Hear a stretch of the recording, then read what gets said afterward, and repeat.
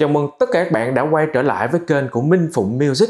Hôm nay mình sẽ giới thiệu cho các bạn tất cả các chức năng của cây K650 Cosman nhé. Nào, chúng ta hãy cùng bắt đầu thôi. Đa phần tất cả các cây piano trên thị trường đều có một cái bảng điều khiển rất là ngắn gọn đặt ở cái phần bên trái của cái đàn. Nhưng riêng cây Cosman K650 này thì toàn bộ phần điều khiển, tất cả các chức năng cũng như màn hình và nút xoay vặn đều được hiển thị rõ ràng hết và rất là tiện lợi nha. Ngoài ra cây đàn còn có thêm hai cặp loa 40W và 25W để giúp các bạn tăng thêm trải nghiệm trong quá trình luyện tập. Và đây là bảng điều khiển của cái đàn K650 đây các bạn. Chúng ta ở phía chính giữa có một cái màn hình LED để các bạn tinh chỉnh và nhìn thấy tất cả các thông số hiển thị của cái đàn. Kế bên là nút vặn của cái đàn này để các bạn có thể chỉnh dễ dàng hơn thay vì là phím bấm vật lý lên xuống như những cây đàn khác. Phần bên trái chúng ta có nút nguồn, bộ chỉnh âm lượng to nhỏ, độ sáng của tiếng đàn cũng như là bộ phận lưu trữ âm thanh. Kế đến là bộ phận chúng ta có thể sử dụng những cái nút này để nghe những cái tiếng mô phỏng những cái bản nhạc của từng tiếng đàn. Còn phía bên tay phải chúng ta sẽ có bộ tiếng nó gồm khoảng 40 tiếng cho các bạn lựa chọn rất là nhiều ha. Gồm có piano đây e piano accordion string vân vân. Kế bên đây là phím chức năng. Khi mà các bạn nhấn vô những cái loại phím này sẽ tinh chỉnh những chế độ riêng của cái đàn giống như là à, tăng giảm âm lượng hay là chỉnh tiếng vang vân vân. Đa phần, kể cả những người thích học đàn hay là chỉ là mới tập đàn thôi, chúng ta đều rất là thích nghe nhạc, đúng không? Chúng ta có một cái phím chức năng đó là demo và son khi các bạn nhấn vào phím chức năng này, chúng ta sẽ nghe được những bản nhạc nổi tiếng nhất về cổ điển, lẫn hiện đại trên cái đàn K650 này. Trong lúc luyện tập, đôi khi các bạn sẽ cần nghe tiếng đàn âm thanh của những bài hát được thu âm sẵn trong đàn này, thì các bạn có thể làm như sau. Đầu tiên, chúng ta sẽ tìm những chữ là style và son nó gồm hai nút nhấn này các bạn, và chúng ta sẽ nhấn lần lượt nút style và nút son đồng thời và khi mình nhấn nó thì nó sẽ ra được tiếng đàn.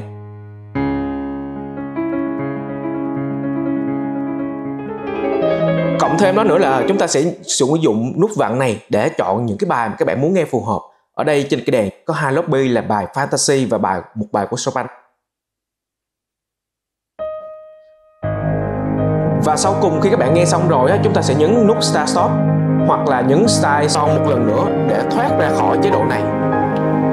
Đó là chức năng demo các bạn. Khi các bạn nhấn vào chức năng xong chúng ta sẽ tới 60 bài để các bạn nghe thử lực khi mà chúng ta nhấn vào nút này và chúng ta sẽ chọn gồm những bài rất nổi tiếng như là Fearless chẳng hạn hay là Entertainment, Turkish Match vân vân để mình mở thử một bài cho các bạn nghe nha.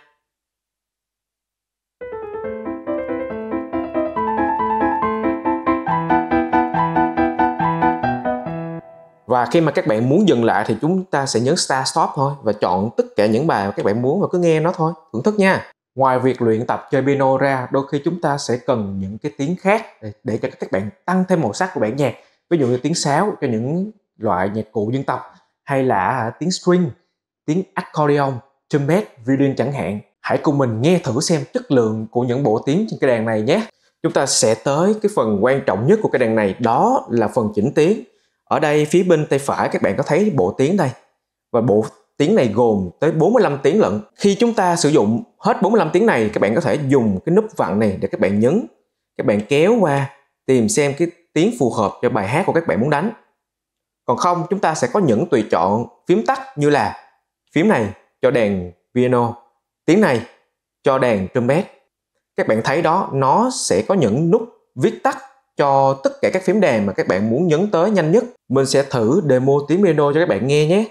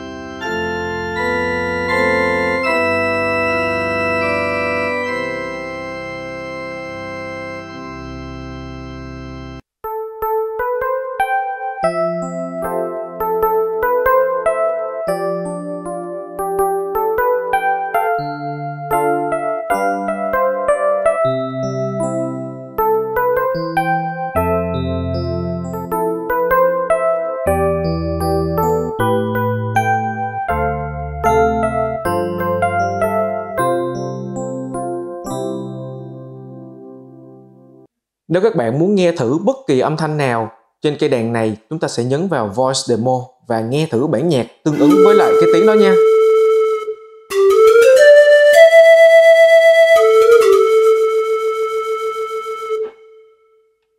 Và chọn tiếng khác để các bạn nghe voice demo tiếp nha.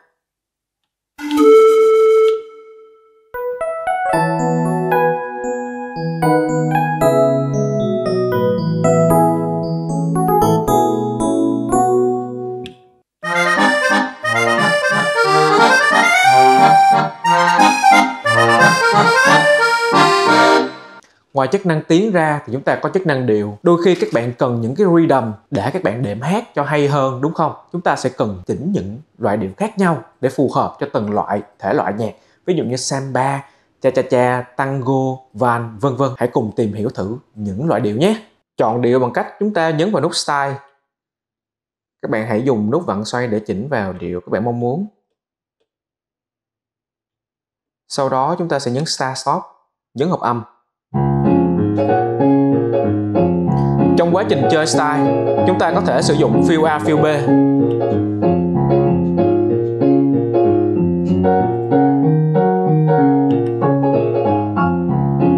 Và các bạn hãy nhấn tổ hợp phím là tempo vừa lên vừa xuống để nó cân bằng lại đúng với cái tempo của nhịp điệu này nhé. Mình ví dụ cho bạn một cái style khác ví dụ như là nhạc pop chẳng hạn.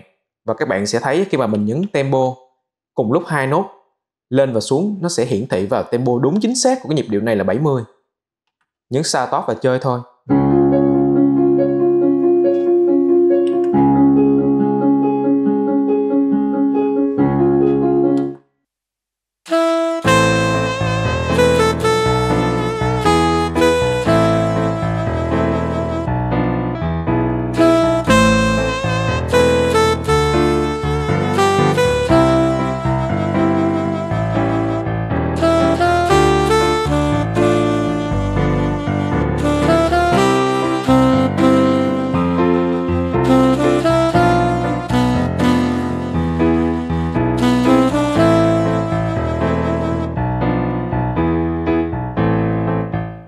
Khi bản thân mình thì hay sử dụng mix tiếng khác nhau để làm cho cái bài hát thêm màu sắc hơn.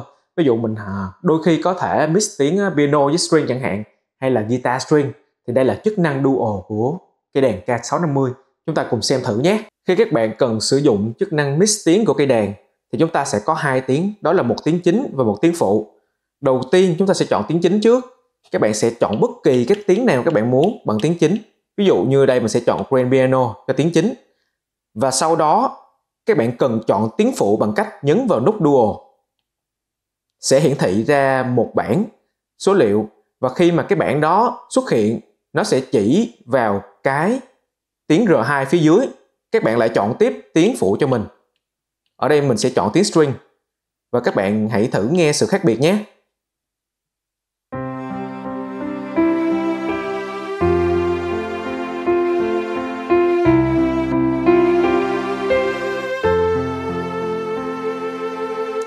Còn đây là khi không có chức năng Dual.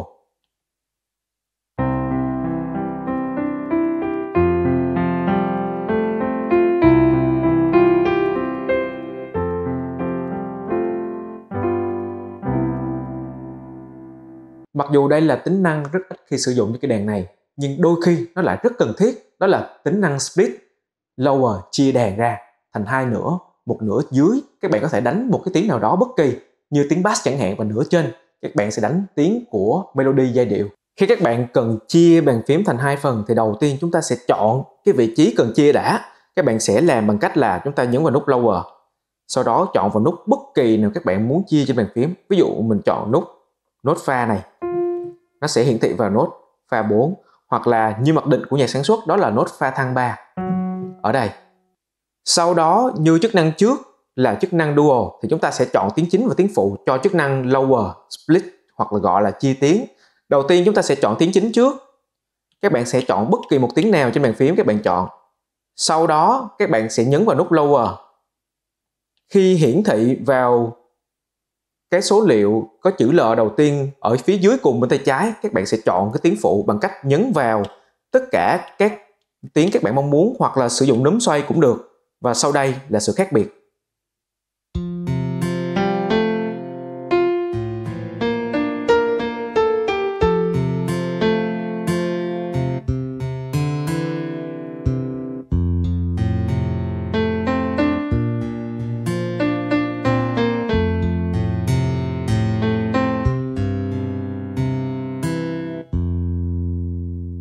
Các bạn đã bao giờ thấy có hai nghệ sĩ diễn piano trên một cây đàn chưa?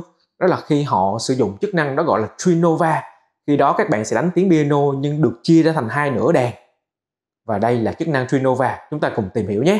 Khi các bạn cần sử dụng chức năng trinova, có nghĩa là chia cái đàn ra hai hướng do một lúc hai người sử dụng. Các bạn hãy nhấn vào tổ hợp phím là Shift cộng với nút trinova ở đây.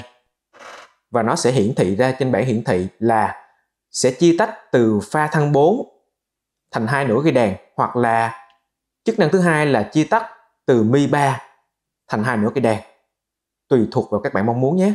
Khi các bạn cần tăng giảm tông hay còn gọi là transpose các bạn hãy nhấn tổ hợp phím là shift cộng với nút yes để tăng tông hoặc là no để giảm tông.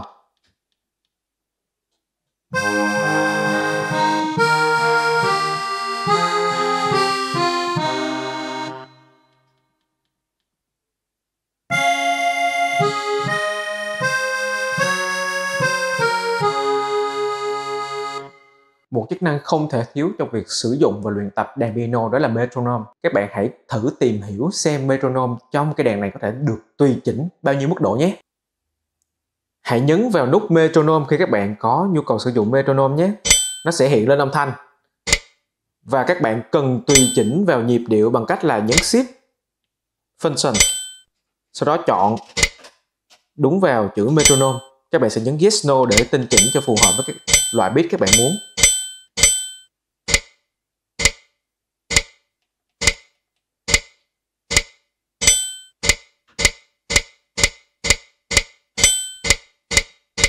Và nhấn vào metronome để tắt nhé. Phím son trên cây đàn K650 này ngoài việc các bạn có thể thưởng thức những bài hát hay ra thì chúng ta còn có một cái chức năng nữa đó là các bạn tắt tiếng của từng tay đi.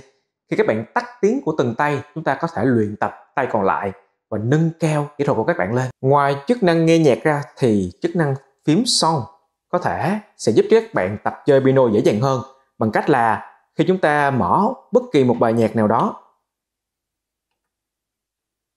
khi bài hát đang chạy, chúng ta có thể nhấn vào tổ hợp phím Shift Left hoặc là Shift Right để tắt cái phần âm thanh mong muốn. Ví dụ như các bạn nhấn Shift Left để tắt tay trái đi. Khi đó chúng ta sẽ luyện tập bài hát này bằng tay phải. Và ngược lại khi chúng ta tắt tiếng tay phải để chúng ta sẽ tập tay trái của bài hát này. Đôi khi tùy theo mục đích sử dụng như là luyện tập chẳng hạn hoặc là muốn nghe lại bản thân mình xem là mình đánh ổn hay không các bạn có thể và rất cần thiết sẽ sử dụng tính năng đó là sao lưu. Vậy thì muốn sao lưu trên cây đàn K650 này như thế nào? Cùng tìm hiểu với mình nhé. Chúng ta sẽ nhấn vào nút Record để lưu âm thanh lại và chọn vào Style. Sau đó lại nhấn một lần Record nữa. Bây giờ các bạn cứ việc đánh những cái bài các bạn mong muốn nha.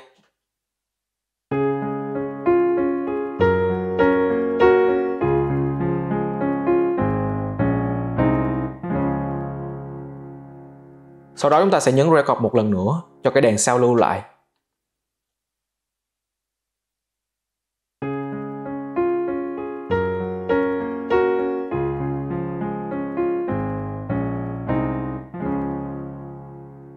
Ngoài ra, các bạn có thể sao lưu lại bằng cách là đánh trên nền nhạc có sẵn trên cái đèn này bằng cách là Record Song.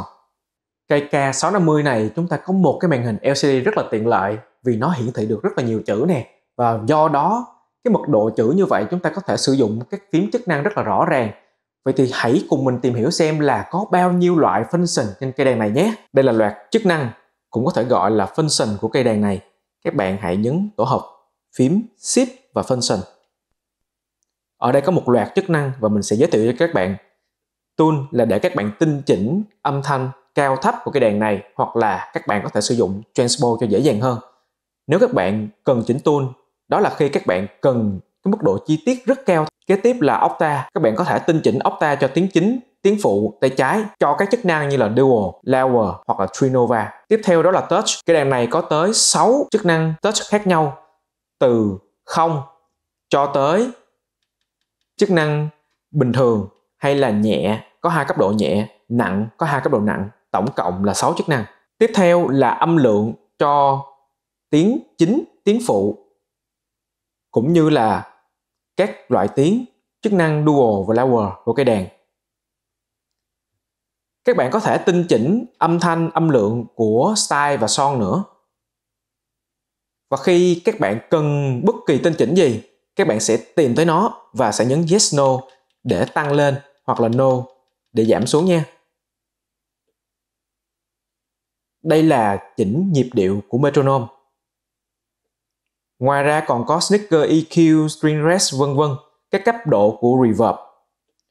Chorus MIDI out các bạn có thể chỉnh tới 16 kênh MIDI out lận. Khi các bạn nghe style, song hay demo trên cái đàn có thể chỉnh kiểu nghe. Ví dụ như các bạn cần lập tất cả các bài hát thì sẽ chọn on và nếu chỉ cần lập một bài hát thôi chúng ta sẽ chọn single. Đây là power off của cây đàn này. Chúng ta có ba tùy chỉnh. Đầu tiên là không bao giờ tắt cây đàn hoặc là tắt sau 30 phút không đánh hoặc là thêm nữa là tắt sau 1 giờ không đánh. Phần còn lại là, là bộ chỉnh thời gian của cây đèn này. Chúng ta có thể chỉnh đúng vào năm hiện tại, đúng mốc thời gian hiện tại để thuận tiện hơn cho các bạn sao lưu những cái dữ liệu audio trên cây đèn. Và cuối cùng là chức năng Factory Reset có nghĩa là các bạn có thể reset lại nguyên cây đàn này về nguyên hiện trạng khi mới xuất xưởng. Trên cây K650 này có một chức năng đó gọi là Piano Mode. Đây là một chức năng giúp bạn có thể quay lại tiếng piano ngay lập tức, kể cả khi các bạn tăng giảm tông hoặc là chọn bất kỳ từ chỉnh nào đi nữa và nó rất là cần thiết nha.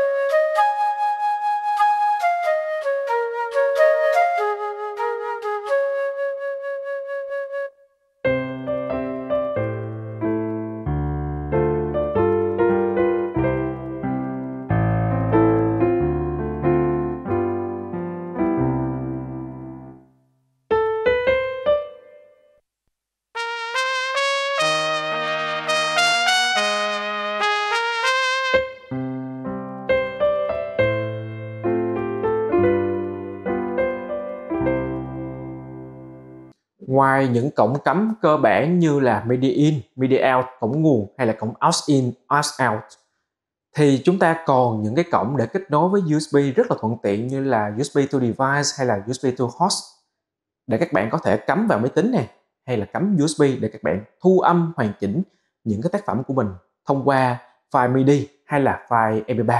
Vậy là mình đã cùng các bạn hướng dẫn xong tất cả các chức năng cơ bản của cây đàn K650 này nếu các bạn có những gì thắc mắc, hãy comment ở bên dưới để tụi mình giải đáp nhé. Hãy đến với chủ hệ thống Minh Phụ Music để cùng mình trải nghiệm cây Cusman K650 này ở địa chỉ 347 Điện Biên Phủ, phường 4, quận 3 hay là 98 Bành Vân Trân, phường 7, quận Tân Bình. Link sản phẩm mình sẽ để phía dưới phần mô tả.